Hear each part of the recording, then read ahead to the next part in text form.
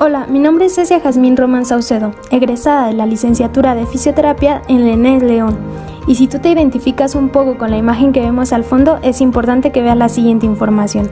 Sé que quizá es un poco complicado estar estudiando desde casa, pero si puedes hacer esto entre clase y clase sería muy bueno para evitar nuestros dolores de cuello y espalda principalmente. Vamos a empezar poniéndonos de pie y levantando en puntas y talones de esta forma. Vamos a hacerlo 10 veces hacia enfrente, hacia atrás, hacia enfrente y hacia atrás 10 veces para empezar a activar un poquito nuestros miembros inferiores. Nos vamos a poner ahora de lado y lo que vamos a hacer es intentar eh, tocar nuestros talones en dirección hacia nuestras pompis. Vamos a empezar un poquito a mover rodillas aquí. 10 veces de cada lado para empezar a activarnos porque llevamos mucho tiempo sentados. Nos ponemos de frente y vamos a tomar nuestra cintura de esta manera. Vamos a contar 10 veces hacia afuera. De esta forma, círculos. Y cambiamos 10 veces hacia adentro. 3, 4, 5, 6, 7, 8, 9 y ahí terminamos. Vamos a continuar ahora con nuestros brazos, levantando los brazos por encima de la cabeza para movilizar ahora un poquito nuestros miembros superiores, ya que de seguro tenemos posturas un poco incorrectas e incluso posturas mantenidas. Vamos a hacer el cambio después de nuestras 10 veces, vamos a hacer el cambio ahora a flexiones horizontales de hombro. Terminamos eso y nos vamos ahora con movimientos circulares hacia dentro de nuestras muñecas.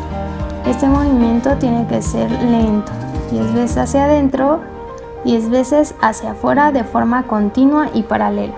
Vamos a irnos con movimientos circulares de hombro hacia atrás, espacio y posteriormente lo vamos a hacer hacia adelante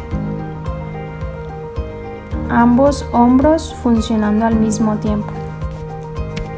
Ahora empezaremos a mover de inclinaciones laterales nuestro cuello de forma despacio para que no te marees. De forma despacio, 10 veces de cada lado y una vez que terminemos 10 veces de cada lado, vamos a sostener un poco y traccionar un poquito nuestra cabeza Contamos 10 segundos y hacemos el cambio para provocar un estiramiento en nuestra zona cervical, en el trapecio principalmente, que es de los primeros que se empieza a estresar cuando tenemos mucho tiempo eh, enfrente de un ordenador. Hacemos lo mismo el estiramiento hacia adelante, jalando con nuestras manos un poquito y hacia atrás lo haremos sin traccionar, con el puro movimiento de la cabeza. Vamos a terminar con un poco de movimientos combinados. Vamos a tocar por abajo de nuestras rodillas, levantamos piernas de esta forma y extendemos los brazos hacia arriba. Una vez que acabemos nuestras 10 veces, como lo estamos haciendo, vamos a continuar bajando y subiendo. Abre un poco las piernas y vas a estar tocando la punta de tus pies y extendiendo un poquito tu tronco sin excedernos hacia atrás para que no te lastimes. Aquí ya estamos activando toda nuestra musculatura de miembros superiores, inferiores y el tronco. Ok, y si tú aún te sientes con un poco de molestia en la espalda o en las lumbares, es importante que realices lo siguiente. Vas a extenderte con brazos hacia arriba, un poco hacia la derecha y un poco hacia la izquierda. Y posteriormente vas a hacer estas rotaciones ligeramente y sin forzarte tanto. Hacia la derecha y hacia la izquierda. De 5 a 10 segunditos esta acción. Y listo. Continúa con tu siguiente clase